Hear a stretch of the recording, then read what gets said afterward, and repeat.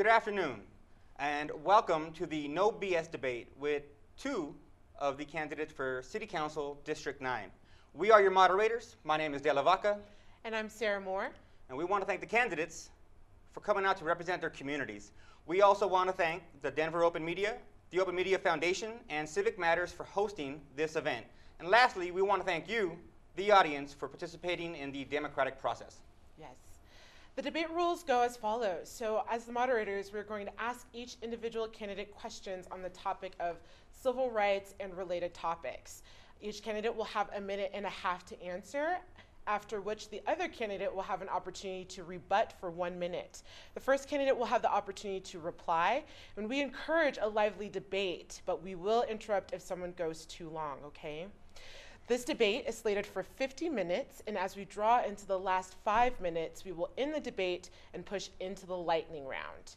At that time, candidates, you will be asked to you will be asked closed-ended questions, and you must answer in a concise fashion about your position with either a yes or a no. Okay? Denver City Council District 9 is located in central Denver and serves the diverse neighborhoods of Auraria, Central Business District, City Park, City Park West, Clayton, Cole, Elyria, Swansea, Five Points, Globeville, Skyland, Union Station, and Whittier. The candidates for City Council District 9 are Jonathan Woodley, David, Anthony Oleski, Candi CdeBaca, and our incumbent Albus Brooks. With us today are our incumbent Albus Brooks, and we'll begin with you for your one and a half minute introduction. Great, thank you. Thanks to the moderators. Thanks for everybody who's uh, out there watching. My name is Albus Brooks, and I have been in the city for the last 20 years, uh, serving young people of color all over the city. Um, and it is an honor and a privilege uh, to serve this city. Um, and I have, I love the city so much uh, that I got married here, and I've raised my three kids, uh, Makai, Kenya, and Kaya. Um, I got the opportunity to run for city council um, in 2011. And at that time, we had 38 challengers. Um, and we ran on the campaign slogan of, man, connecting our diverse communities. And that's one of the things that we've been doing since we've been in office. We believe in an inclusive Denver, and we believe that we become an inclusive Denver through housing for all, through investing in our early childhood education and young people, and making sure that we invest in an equitable transit system. I'm excited to share with you my vision for an inclusive Denver, what we've done, and stepping boldly into what we will do into the future. Thank you. Thank you. Candi. Good afternoon. My name is Candi CdeBaca. I'm a fifth generation native of District 9 in Denver. Born and raised in Swansea, went to Swansea, Cole, and Manual. I was a first generation high school graduate from Manual and ended up being a Daniels Fund Scholar and being the first and youngest person to complete a dual degree at DU's Graduate School of Social Work. I'm a social worker, a community organizer, and a policy expert. I've spent almost two decades of my career working in and with government at the federal level, state level, and local level. For the last uh, five years, I've run a, an organization that I started 13 years ago called Project VOYCE, which train, employs, and organizes underrepresented youth to insert their voice into policy. I'm running because I believe Denver's at a critical point right now. Our growth has brought a lot of amazing things, but we need to grow more responsibly, and I want to bring my social worker lens to City Council um, to make sure that we're building people centered solutions and a government that's accountable to our residents. Thank you, Candi. So, to begin with our first question here, Denver will be voting on Initiative 300, an initiative to allow any individual to engage in activities such as resting and sheltering oneself in a non obstructive manner in an outdoor public place. The Right to Survive initiative is premised on protecting the homeless from city mandated property seizures and camping bans that leaves officers confiscating property in all kinds of weather conditions. This is a city authorized police action which leaves the which leaves the unhoused facing any adverse health outcomes including and up to death and which also deprives them of personal property. Do you support 300? If not, or if so, which other areas of our city resources should be mobilized to support our unhoused populations? We'll start with you, Albus. Yeah, so thank you for the question. And I do not support 300. Uh, simply put, we as a city should be responsible for those who um, in this city who are most vulnerable. Um, I believe in a housing first model, and that's why we in District 9 have built more homeless housing than any other part of our city. I believe in making sure that we have mental health services for our, uh, our folks here, and that's why I support it, um, Caring for Denver.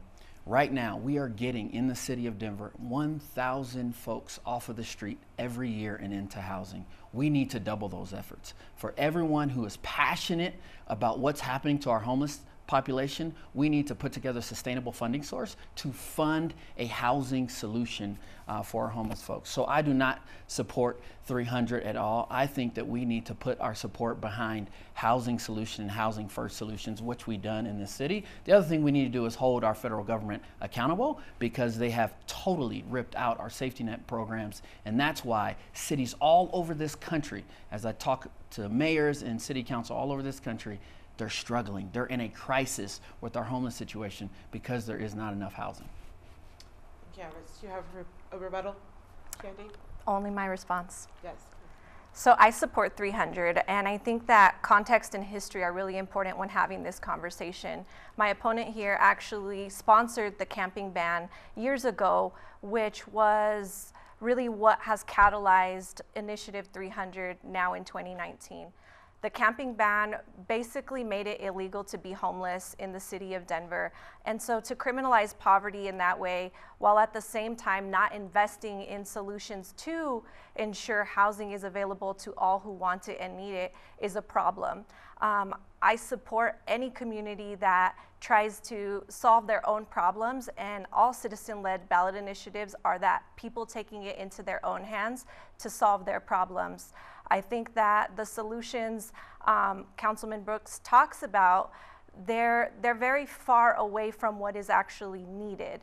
Uh, we can't rely on the federal government. When we talk about history and the way that public housing was concentrated and the racism connected to redlining, we have to understand that the federal government failed us a long time ago with the way that they've addressed housing, housing poor people, housing people of color, and we can't expect them to get it right, especially under the current administration. So I think as a city, we have a heavier responsibility to do more. The linkage fee that we're using right now to build affordable housing um, is wildly insufficient. You can buy rolls of fabric for more than we're charging developers. And so I think we need to shift the context and the responsibility and make sure that corporations are carrying their fair share of this burden of growth that we're experiencing here in Denver. Thank you, Candi. Do you have a rebuttal? Yes, uh, first, I think it's important to understand that um, this camping ordinance um, was, was something to make sure that we are getting folks into services, into the housing uh, that they need. Uh, there's only one person up here who's actually put um, and built and invested and passed legislation to make sure that we get people in the housing, and it's me. And so we have very, very clear, um, poignant uh, projects that we can point to to see, show how we are helping folks, how we're putting together very complex financing options to make sure folks are housed, not only housed, but make sure they have jobs, putting together the first jobs program ever in Denver's history, Denver Works. And so those are things that we've been working on. We want to see folks be a part of the success of Denver and not be limited by it. Candi, you had something that you wanted to address. Rebuttal? Yes. Um, so the camping ban was not a solution, and to tell people without a home to move along, without providing a place for them to move along to, is it's a failure of city government. And to understand that we have shelters that are not 24/7, we have to do something with our homeless population even in the day when they're not able to go into shelters and spend their time doing sleeping or whatever it is that our city believes shelters provide. I think the wraparound services that Councilman Brooks talks about are aspirational. We haven't gotten there yet. Really quick, I think that. Uh, Can I, can I just rebuttal that? Because I mean, we, c- Really quick, your opening statement, you said, Mr. Brooks, that we should have a housing first approach. yeah. And you also said that we should put together a funding source, but we already have one, which is uh, $150 million over 10 years, started in 2017. The camping ban itself is saying that people don't have a right to rest, stop, relax, and people have claimed that it's going to create tent cities or whatnot. But the actual language of the text says that it can't be obstructive, right? Non-obstructive. Uh, my question is, housing first? Yes, please. Let's figure out how to get people into houses. But until we have those houses built, you said that uh, District 9 has created the most affordable housing. How long does it take to do that? And at the same time, District 9 has the largest unhoused population. That's right. Be- you know, District 9 has a, the largest homeless population because we have poor urban planning. Uh, we concentrated our poverty in this city, and that was wrong, right? Um, everywhere over this, this country, national policy shows us that when we invest in homeless services, we need to do that citywide. But we have a NIMBY attitude in this city, and we need to acknowledge that. Number one, housing takes time. I believe in transitional housing. That's what we're doing. Nothing is aspirational here. We just passed the Solution Center in Sunnyside. 60 days or 30 days, folks can be in there at 60 people. Those who have been going to jail for urinating in public and things like that, they are now going into the Solution Center where they're getting services. They're being connected to opportunities. And so we don't speak aspirations, we speak facts. What I'm saying is we need to invest more. We do not have a sustainable funding source for homeless housing. We have a housing fund that is not adequate for homeless housing. We, a third of that goes to homelessness. We're going to move on to our next question on racial inequality. A few facts. Colorado had the most extensive KKK networks west of the Mississippi through the 1930s. The grandson of one ran for governor this year, uh, last year. Educational equity has failed ch- children of color based on zip code. Gentrification continues unabated. According to the Denver Gentrification Study 2016, gentrification is premised on a view of our communities as profit margin instead of community. The Colorado Trust tied historic segregation to modern gentrification. Addressing the racial wealth gap in Colorado specifically, they said the latest view of racial and income, uh, income inequality in the U.S. shows deep and entrenched disparities along racial lines. How does it play out in Colorado? Not well. Across a range of measures, Colorado was failing to provide equitable opportunities across racial lines. Colorado was third in the nation for white supremacist propaganda. White terrorists and right wing violence are the biggest threat to Americans, yet people of color suffer the brunt of policing. Uh, Candi CdeBaca, what are your thoughts on racial equality and equity, and how will you work to move District 9 and by extension Colorado towards a more equal and equitable racial future? So I think right now, um, a lot of what we're experiencing with our city's changes um, is deeply rooted in that racism you talked about. We have policies that have never been designed to serve uh, people of color and poor people in this city. And so when we look at the way that our neighborhoods are changing, it's very easy to almost erase completely people of color in this city. And there's not a lot of pushback on that because we've branded our growth as um, natural or improving areas, even though we know that it's modern manifest destiny. And not only are higher income people pushing out people of color because of historical advantage when it comes to wealth, but we also know that our government is currently sanctioning violence and land theft from communities of color. With um, wealth building, the primary tool for wealth building is homeownership. We watched our city and our state collude to take over 5% of our homes in an 84% Latino neighborhood, homes that were owned. To, that is a wealth that is wealth in the brown community. We watched predatory lenders come in, uh, really in an unfettered way, stealing properties from our black community in Five Points and Park Hill and Whittier, and that completely went ignored by our city. I think we need a consumer protections division that is making sure that there are not predatory practices that are stealing um, communities of color's ability to build wealth and to stay in this city. I also think that we need to implement or strengthen the pilot, the racial equity pilot. I, think we're just a bit over time on that. I'm going to have to ask uh, Councilman Brooks to respond.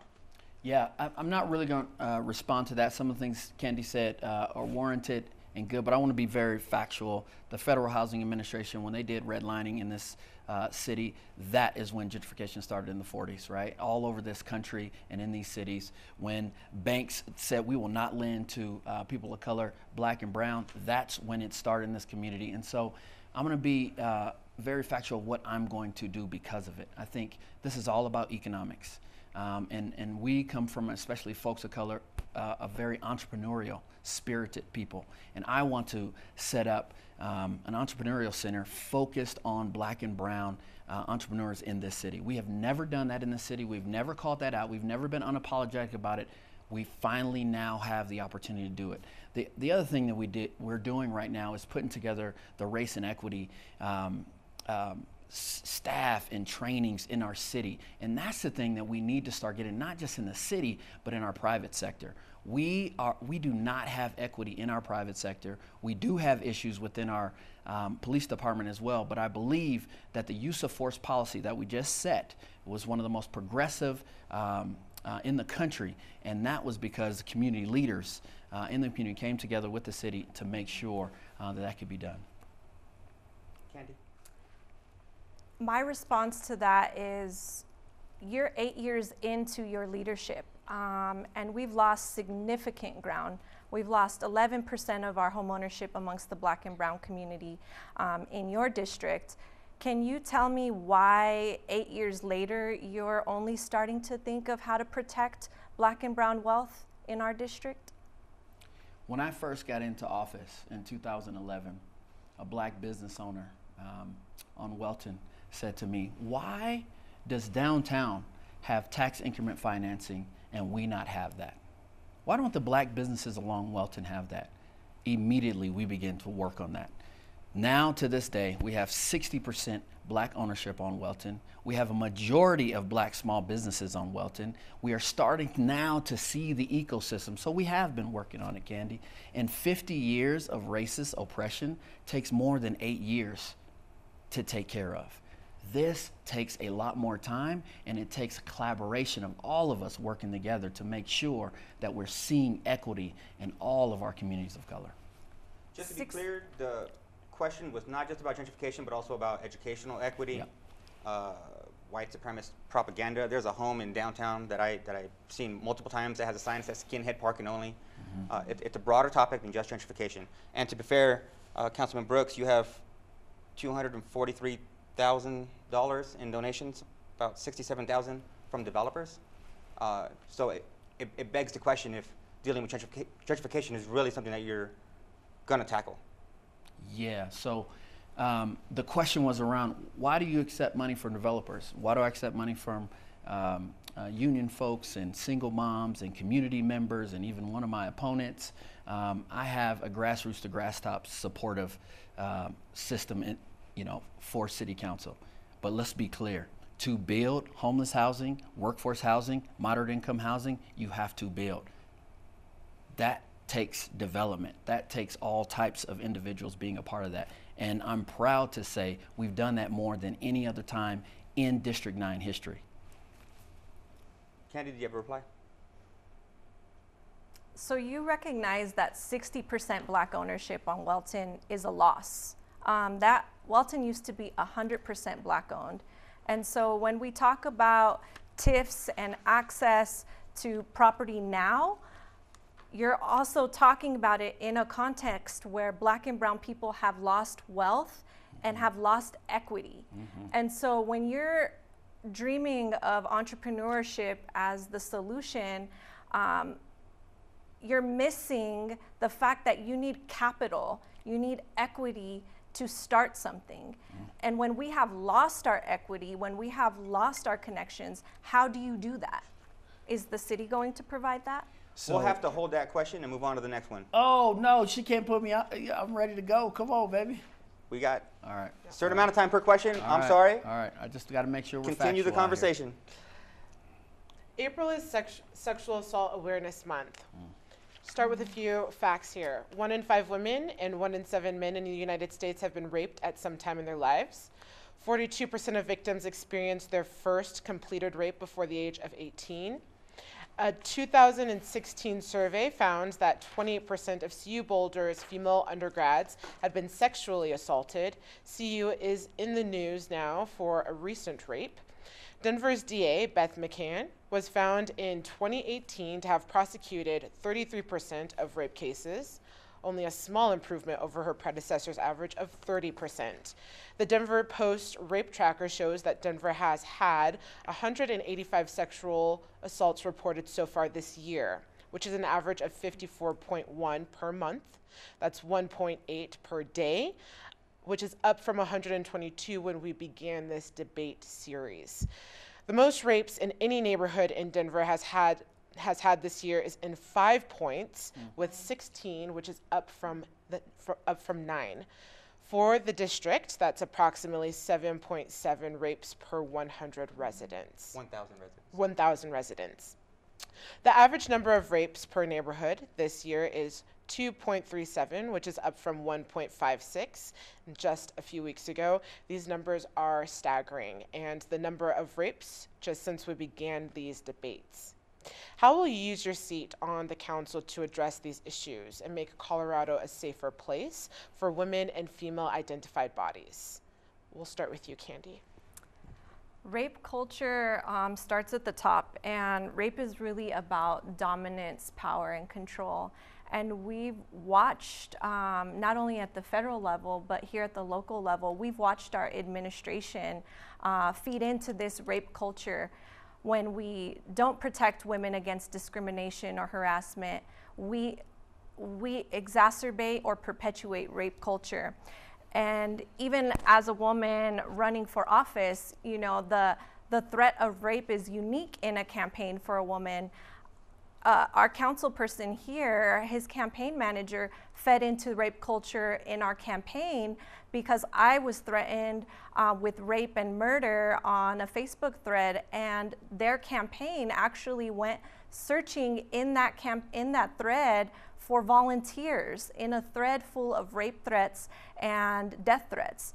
And so when we talk about uh, rape culture in the city of Denver and protecting women in this city, we need to be able to hold systems accountable. We need to be able to make sure that at the top, from the very top down, um, we have people who understand what is harassment, what is rape, and we have an ability to hold them accountable. Right now, in the police department, um, we need to be able to require police to go through training, all city staff to go through training. The city attorney needs to operate independently and not serving the mayor.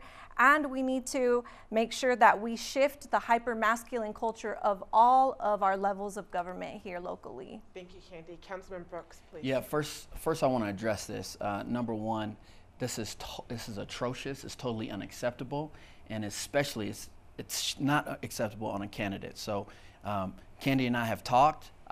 I, apologize for those threats, those ridiculous threats that were coming nationwide from conservatives, and we don't know who it was. It's come to me before, but that's ridiculous. And and my um, campaign manager had no ill intent in that. So let's just address that. Secondly the news that you just gave me, that five points has the most, is shocking to me. Um, and it's a big issue. And I think we have tried to address this issue in, in meeting with our district attorney and meeting with um, bringing our attorney, our own city attorney together and saying, how do we begin um, to enforce these laws, but more importantly, change this culture? I have two daughters, Kenya and Kaya, right, are the sweetest little things, right? And I want to make sure that they grow up in a culture of possibility, of strength, and not fear.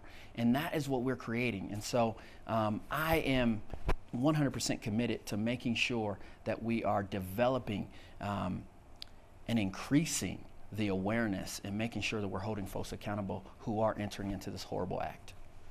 Just to push back on that a little bit, uh, regarding the mayor's misconduct while you were council president, you refused uh, an investigation, claiming that any further investigation, uh, to further investigate this matter without uh, Detective Branchwise's uh, request or consent would be contrary to best practices and risk re-victimizing her. Uh, Yeah, so that's that's a, this is a common mix, misconception.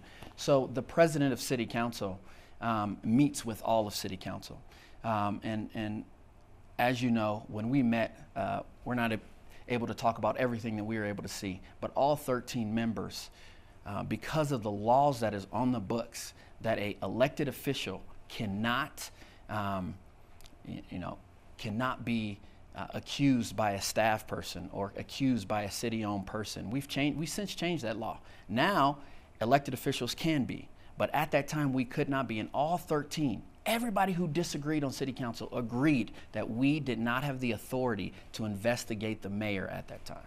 So I want to be very clear about that. Did you personally make any statement regarding the mayor about how he should maybe step down or be held liable in another area, apart from your role as the president of the council? As the president of the council, um, I'm supposed to bring the council together and make a decision and make a vote. We, we did that. I then told the mayor he needs to make a public statement of apology and deal with this matter.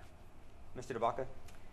I think apologies are not enough, and that's why representation matters. When we talk about a documented uh, harassment from the highest level of our government here locally, we have a platform and a responsibility to advocate for women in every office in this city. And what that means is that with the proof that we had, it was enough proof to ask the mayor to resign. And I believe that as council president, that's what should have been asked. The fact that our books literally do not allow us to hold our mayor accountable is a problem. And that is the type of thing that we need to change in this city. It's not acceptable. And to make a statement of apology is not enough. It doesn't protect the next woman. It actually allows the, the perpetrator to do it again and just know that the way to correct it is with an apology, which is not enough. We did correct it. The legislative branch uh, made sure that every elected official can be held accountable by a staff person. We directed the executive branch to do that. We directed uh, the clerk and recorder and the judicial branch to do that as well. And so um, that was changed, and we want to make sure that the next woman does not have that issue. Regarding the uh, statistic that Beth McCann has only been able to prosecute 33% of rape cases, 30, uh, 30% was her predecessor's rate.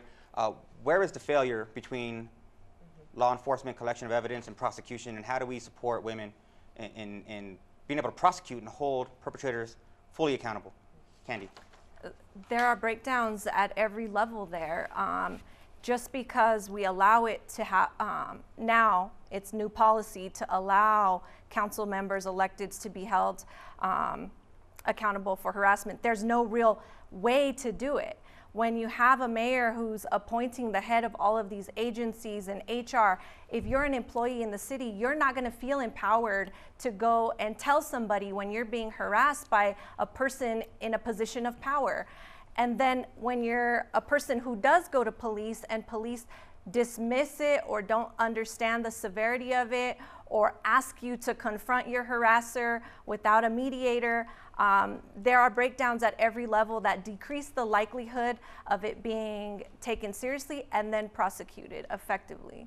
To, to answer your question uh, directly, I think we need to go in and look and do an analysis and evaluation of what um, uh, Director uh, McCann uh, and the difference is between her and the last district attorney. I think um, there may be some issues. Uh, um, uh, Beth McCann um, is looking at you know, justice reform and all these other issues. And I think we need to look at that. And because there may be a fear of um, not, you know, making sure, sure folks are penalized at the greatest degree. And so um, there's some things, analysis that needs to go in.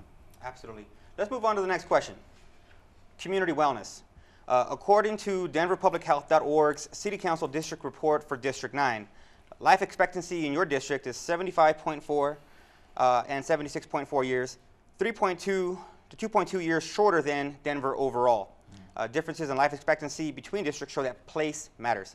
21% of District 9 young adults, uh, 18 to 24, use tobacco, 4% higher than Denver overall. 17% of public school children aged 2 through 17 in District 9 uh, are obese, 1% higher than Denver overall.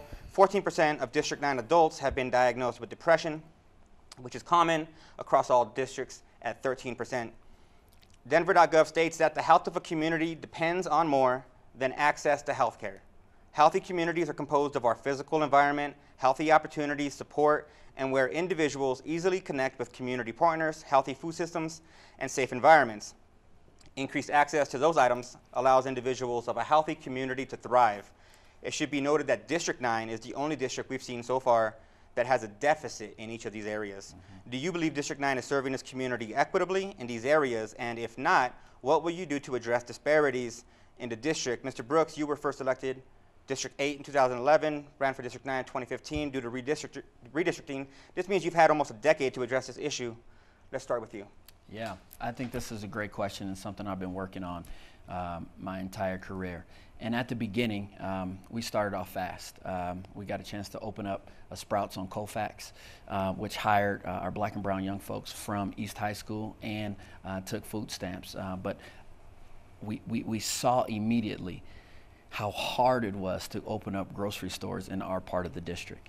Um, and I think access to healthy food is one of the most important things. And so we, we believe you can do that from a micro to macro uh, um, um, opportunities. And so macro, we're doing that now. Um, we got a, a, a new um, grocery store opening up on, in, in the Cole neighborhood right next to GES in the Five Points neighborhood as well.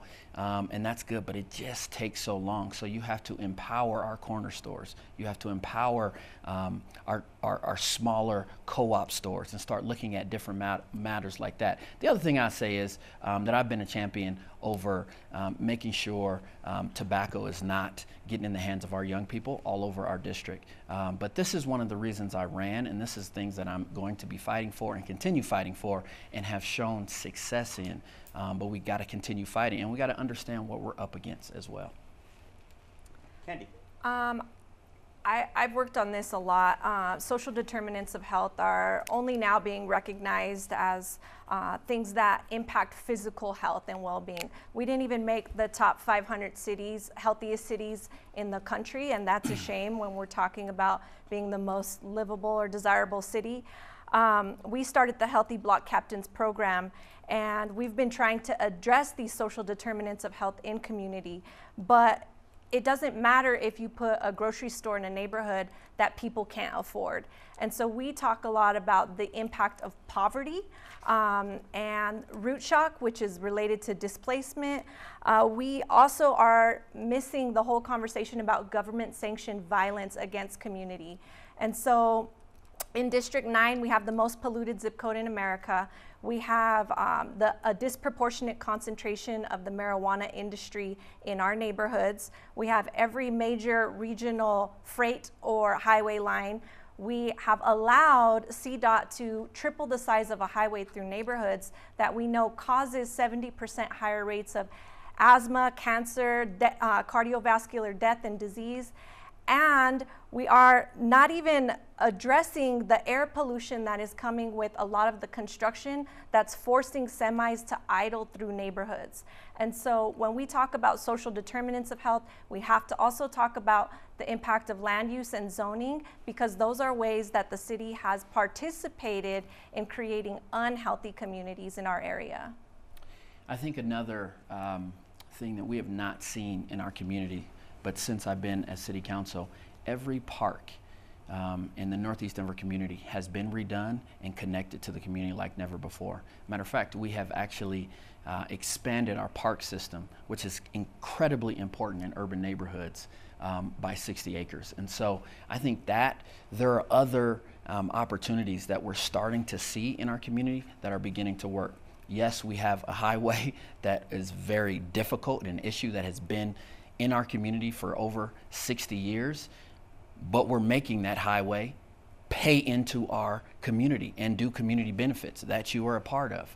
We are fighting um, some of our marijuana shops that are opening up up that you are with me on fighting. And so we are fighting for the health of and, and the opportunity and security of our future with our young people. But we need to continue to do that, and we need to come together to make sure that there is a clear strategic plan of how to do that well for all of our students.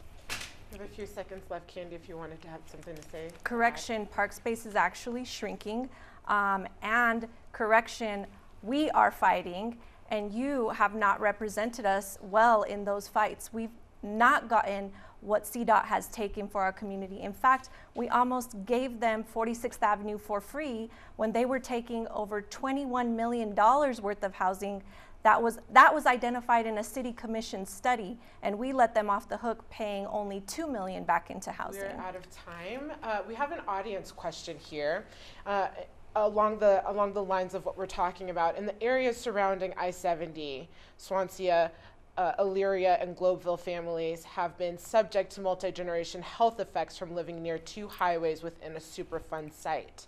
Is tripling the footprint of I-70 and lowering the viaduct through these neighborhoods in a in, in a floodplain and largely unremediated Superfund site the best solution? As well as, do you support Central 70 alternative I 270, I 76 bypass around these neighborhoods and the restoration of 46th Avenue as a boulevard? Yeah, so no, that's not the best solution, but it's the solution that we have. And here's why. If we don't touch that viaduct, we lose 80, the $800 million in bridge loan funds. If we move, lose the $800 million, we don't have opportunity to build a highway, right? The other issue is uh, not here with me, but I can call Joe Salazar, Representative Joe Salazar, and all the other commissioners who say moving a highway from one poor neighborhood to a poorer neighborhood is not the answer. And so we are stuck in this um, situation of I 70. And what I did was, when in my leadership and living nine blocks away from here with my three kids and my wife, is saying, we need to make sure we get the largest community benefits agreements in CDOT history. And that's what we're getting today over $30 million. Does it make up for all the years and all the issues? No. But it's making sure that there's an investment into our community, and that's what we're going to get. Candi? So it is absolutely not the best solution, and we've fought against this option for many years. I don't think that we need to chase this option because of the bridge fund. Um, that bridge fund, the, the entire state of Colorado will be paying 50% of the entire state's bridge fund for the next 35 years for two miles in highway of highway in Denver. That is tripling the pollution in our city, in our state. Um, the, the proposed reroute that we had identified um, is not moving it from one poor neighborhood to another. The impact is 18 to 1 where it is at and where we were proposing that it would be.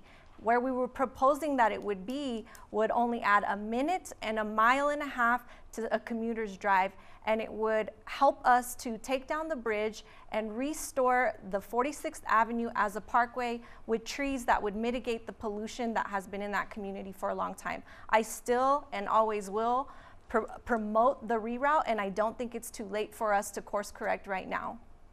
We have 20 seconds left. I think we're going to go ahead and move on to the next question. On local media, a topic near our hearts. Uh, media is in crisis in Colorado. Denver Open Media, our host, this evening is under attack as Mayor Hancock has worked to defund this important public access media project and remove equipment. The Denver Post and the Daily Camera, uh, our region's only two major print newspapers, are owned by hedge funds who are busy extracting capital and laying off staff. Fake news is the slur of the day, thanks to our president. How do we support our local newspapers, community journalism, and organizations like Denver Open Media that work to be a pillar of community information and provide equal access, educational programs, and media training to everyone? Candi. Um, I think that the mayor's defunding of DOM is indicative of uh, the what he's trying to create, and that is a smokescreen so that there is no accountability and transparency in this city. Um, even with Denver Post, yes, they're run by hedge funds, but the but the city of Denver actually leases their space. So we create multiple layers of, of conflict and barriers to real accountability and transparency. And I think that we should be doing the opposite and putting aside funds to make sure that we have support, that we are supporting true journalism, factual based journalism, so that we're not making our decisions based off of fake news and based off of the narrative hedge funds want to shape for our city and, and the narrative that actually benefits um, the crony capitalist in this city. I 100% support open media and have been supporting open media for the last uh, three years in this city. Here's the issue. Um, we're on the legislative side. We do not control the budget. Um, we have influence and not authority. And we have been pushing the mayor's administration to make sure that they completely fund Open Media Foundation. Here's the value that I believe I have and other um, leaders in the city have. We need as much connection and open media um, sources in the city um, so that folks begin to get the information. We just had a meeting last night around passing our 2040 uh, comprehensive plan. And we had all of these meetings, and I talked about the lack of participation and even notification that people got. Media sources and, and, and open media opportunities allow folks and connect folks to what's going on in government. And so I'm 100% supportive and will continue to fight for sources like Open Media Foundation to make sure that they're completely funded and they do have the resources. So you made a reference to what sounded like outsourcing power, right? City, the city council has a certain amount of power. Mayor's office has different power. Those Yeah. things don't always overlap, but there has to be checks and balances. That's right. Uh, more and more power has actually shifted to the mayor's office in recent years. Is that a failure of the current city council to hold the I mayor accountable, or Specify. Is there not? Specify what power has shifted. I mean specifically, uh, the mayor's office has taken uh, public access media and shifted it into. How does that work? That's that's always been under the executive branch. So maybe maybe you could say because uh, Councilwoman uh, Ortega talks about this a lot. Um, you know, when we review some of our bills, we don't do them on two readings anymore. We do them on one reading. Um, maybe that's some of the power that we've lost. But I don't believe that we've lost power um, as city council. This is a strong mayor form of government. Um, and if we want that government to change, that's a larger charter conversation that we need to have with the city, the people of the city of Denver. But we and this city um, on city council feel like we are leading the values of this city. It was us who brought the Affordable Housing Fund to the city. It was us who, who brought the, the Immigrant Rights and Opportunities Act to the city. It was us who did all of those things. And so I believe there is str- strength in city council, and I believe there is power and vision in how we want to see the city run. So to answer your question, it was 2018, the uh, Denver Department of Marketing and Media Services, under Mayor Hancock, moved control of Denver's public access channels to the city, resulting in what could arguably be called uh, the city co-opting control of media and content from the public. Um, that runs the gambit of where Donald Trump is talking about having his own public access network because of fake news. Yeah. Uh, Candi, your response? I, it's more of a response to what Councilman Brooks shared. I, I feel confused by the way he frequently brushes off responsibility onto the mayor and tells us that some of the barriers to his success have been mayoral control, but then on the other hand tells us that he believes that the mayor and the city are upholding the values of this city. Um, it's also frustrating on the campaign trail to show up at events that are hosted for Mayor Hancock and they're dual events with Councilman Brooks. They fund their staffers together, they fund their campaign people on the streets, their canvassers together. And so, are you displeased with the mayor? Are you supportive of the mayor? Is the mayor really a barrier to your success? Or are you guys colluding for the same reasons? I, I'm so glad I have this cup around facts um, because I want to I want to just set I don't even understand what was just asked to me. Uh, number one, um, I never have said that the mayor takes away any of our success as city council. The I've, budget, I've, I've, I've never said that. I, but I always try and educate um, folks to understand what the legislative branch is and what the executive branch is, what we have authority over and what we have influence over. The mayor's uh, staff does not cross over with city council staff. The mayor's campaign does not cross over with um, my campaign. We don't share dollars at all. And so, anyway, that's, I, I, I think it's, that's what I want to be clear for folks so that they understand um, the difference. But I do want to say, I am very proud of the last two to three years, especially when I was president and now as Jolon is president, of how council has used its authority as the body. We are no longer operating as individuals, but but as the body. And we're getting some of the most progressive um, values done in this city that the city has been asking for. Okay, great. So we're going to start the lightning round now. Uh, the first question is Denver is unveiling a new transportation department to supersede RTD in the city. Are you for or against it? For. Councilman. For. Denver is home to the nation's most polluted zip code. Transition Denver to fully renewables by 2030 or sooner. Yes or no? Sooner, yes. Sooner, yes. Denver is voting on decriminalizing mushrooms. The psilocybin initiative legalize mushrooms. Yes or no? Yes. Councilman. Yes. State Representative Julie Gonzalez has proposed removing the ban against rent control to allow cities to decide for themselves what works best to support lower income renters. If the ban removal passes, would you support rent, support rent control in Denver? Yes. Yes. Do you support deferred action for childhood arrivals, DACA? Yes or no? Yes. Yes. The Olympics Initiative, prohibiting the use of public monies, resources, etc., in connection with any future Olympic Games without the city first obtaining voter approval. For or against? For. For. April 10th was Equal Pay Day. The Equal Pay for Equal Work Act was recently heard in committee. Do you support a law to ensure equal pay? Yes or no? Yes. Absolutely. Ban fracking in Colorado. Yes, or no? Ban. To, Ban fracking in Colorado. oh. Um, mm, That's a no. no, it's not a no. It's a, it's a, it's a no not for me. now. It's a no for now. No for now. Democracy for the People Act would ban corporations and other entities from donating directly to candidates, lower contribution limits, and create matching funds, officially bringing campaign finance reform to Denver and blunting the impact of money in politics. Do you support 2E, yes or no? We already have it. Yes. I was an original signatory on that ballot initiative. Yes.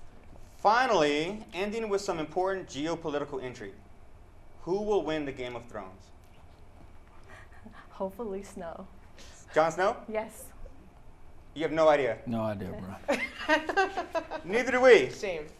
but we're excited about it. I'm going to Uh, we have a little bit of time. Question two on racial inequality uh, was was Heated robust, and I believe you had a comment at the end that you wanted to Oh shoot, I don't. I don't follow up on. what- Where were we at? We had uh, talked about gentrification.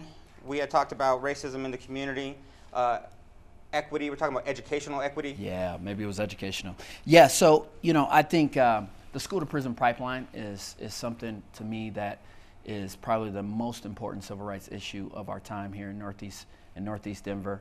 Um, you know, my young kids going to school in in Denver Public School, I see firsthand uh, the school to prison pi- pipeline. If these, if our students are not ready by the third grade, um, if they're not proficient in, in reading and writing and mathematics, there's 95% chance of going to jail um, and, and, and not graduating high school. And so um, I think it's imperative, number one, um, that we start deeply working with our new superintendent, Susana Cordova, working with our school board, but starting to see the change and making sure that if we are not seeing change from our third grade folks of color, black and brown, um, that there would be issues, like we would uh, be addressing them. And I need to see the bar moving. And so we have not seen the bar moved. I'm, I'm deeply concerned about it. If it does not move, we are in trouble as a city. I can tell you exactly where we will be as a city in the next 20 years if we do not start seeing uh, young folks of color uh, close the achievement gap in the city. That's something I've spent most of my career addressing, and DPS in the last 10 years with the privatization of our public schools has become more segregated and the um, equity gap has grown. And so I think we need to revisit what choice means in Denver, and we need to seriously start talking about how inappropriate it is to have more than 40% of our school portfolio being privatized. Um, we also have to have some accountability for upper level management in DPS. There's virtually none right now. And so, yes, we, we need to address the system, but it's a full ecosystem conversation. And the segregation is a big piece of it because choice is not really choice um, in our neighborhoods right now. Any final thoughts on that topic? We got a lot of work to do. A lot of Yeah. work to do. I would Uh, love, I would love to also see um, the school system or the city filling a gap where we're partnering with unions um, because we're not doing that well right now. And so there's not a lot of alternative pipelines into careers um, Sure. outside of Emily Griffith, and Emily Griffith is not doing what we could do as a city. So there are a lot of ancillary points that I would love to make, but I don't think we have enough time. But really quick thoughts on uh, police in our schools. It, it became a thing after Columbine, which was here, but at the same time, police in schools tend to just create a system. You mentioned the school to prison pipeline. Uh, another topic. Uh, you're hoping Susana Cordova is successful. There were calls for her to step down and resign during the DPS strikes because of some lawyers working on her husband's behalf without disclosure. I mean, there's so much going on in, in how we support our students. Those two topics, I don't know. Um, DPS, in many regards, is a worse mess right now, uh, and I feel like the the privatization conversation is really what was uh, what made the superintendent promotion controversial. Her husband works on the financing of the privatization of schools in DPS. I think that the city does have a role to play with the intergovernmental agreements that put police in schools. There, there is state legislation that governments that governs that IGA, but DPS and DP and the city of Denver could end that agreement to have DPD in schools because they're not in all schools. They're primarily in black and brown schools. And so I would love to see that contract ended and I would love to see DPS and the city reconvene their um, group that they used to have many years ago that worked together collaborati- collaboratively on the issues of education that related um, to the city of Denver. Yeah, you know, when it comes to uh, police officers in school, it's a that's a very tough subject for me. I mean, especially being um, a, a black man, that um, and, and young black men in this school are targeted more than anybody else in DPS. And so, I think um, here's the issue. Um, I have some hope because of the use of force policy that has been going on in with DPD. Uh, we have seen because of use of force and the trainings a decrease of use of force of folks of color in the city in the last six months. Can there be special training and special individuals to go into the school and not your typical police officers? The police officers that are in the school right now are older, they're assigned, it's, it's almost a cush job, and they are not dealing with the students in a proper way. So that's something I want to look at. Susana Cordova is the superintendent. Um, there is not going to be a coup, so we have to work with her. I agree with her decision to take on uh, Dr. Antwan Jefferson and start to do an evaluation and analysis of everything that's going on with our black and brown kids. I believe that partnership could be very powerful, but she has to make sure to give him power to do the things that he needs to do to make the decisions. Excellent. I think uh, at this point, we're going to wrap up with final statements from our candidates. I believe we began with Mr. Brooks. So, Ms. CdeBaca, you first. Yeah, I mean, this is our last debate, and we're two weeks away from the election, and democracy is for the people who show up and claim it. In a city where we have less than 26% of our general population voting, and lower in our district, less than 18%, it's really important for us to step up and show up for ourselves and our community now and make sure that we vote, uh, make sure that we pick up our neighbors' bo- uh, ballots and get those turned in. Every person in the city of Denver can drop off 10 ballots and um, get people registered to vote. I'm tired of hearing that a rising tide lifts all boats. It's very clear that for poor people and people of color in this city, it has not lifted our boat. It has tipped our boat over and we're drowning, and it's time for us to do something about it. And so I hope to earn your support. My track record is there and is available for all to see. I've proven where I stand. I stand with community. I will always put people over profit, and we'll do that as your councilwoman. So um, I want to thank uh, the moderators and thank Candi. Um, I think it takes a lot to run for office, and I just admire people's passion to be out here working hard uh, for the community. Um, I've been doing this uh, a while, and I'm excited. I feel like I have the vision and the experience um, to take District 9 to that place that we're looking for. And, and what's that place? Um, folks are concerned about the growth. Folks are concerned about um, the haves and have-nots. I've been at the doors all over this district, and that is a big concern of folks, and it's a concern of mine. It's a concern um, uh, when I helped my good friend Sherrod get out of jail um, that he was connected to services. It's it is a concern of mine that he is connected to the success of this city.